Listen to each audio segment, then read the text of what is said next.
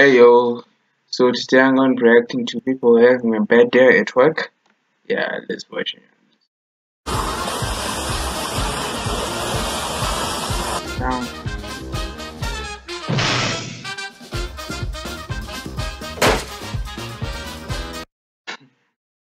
uh, so far, yeah, people having a bad day. Okay, 12 seconds in. Okay let's have a look at other videos. But having a better yeah. As we know this world is full of idiots. They're distributed in such a way that you meet them at least once a day. But it's one thing to accidentally meet an idiot oh. and it's another to work with them. It's even scarier when it's your boss. You will agree that sometimes each of us can make the oh. stupidest mistake. In our today's video you will see what happens when real idiots get to work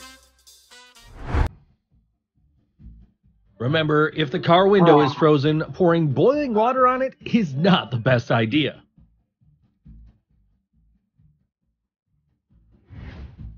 And in this video, you see the worst way to transport a boat. If you hire a waiter without experience, they will break all the dishes. And if you take it in... Ah. this delivery guy does not care about the condition of your parcel. He's done his job. What else do you want? It is difficult for these two to work in a team. When you work in a door store, one careless movement can trigger a domino effect. The guard should have made sure that it was completely lowered.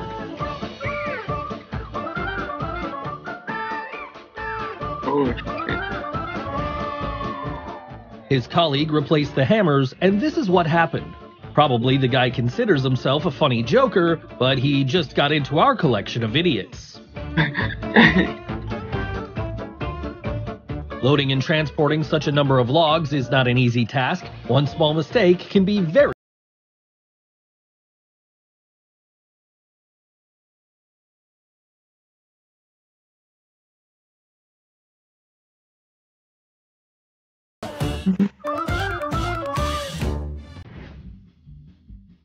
The truck driver forgot to secure the side, and during a sharp turn, a lot of boxes with bottles fell out. It's good that caring people quickly removed the broken glass from the road.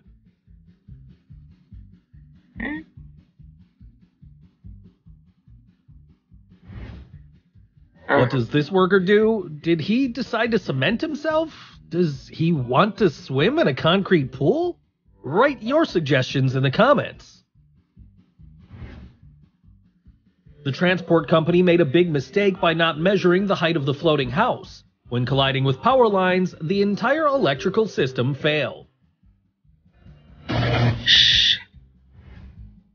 To prevent the bricks from falling, the loader decided to prop them up on one side, and they fell to another side.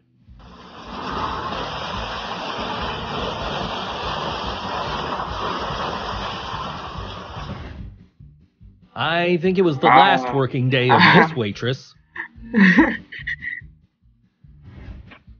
the man walked on fresh concrete as if nothing happened.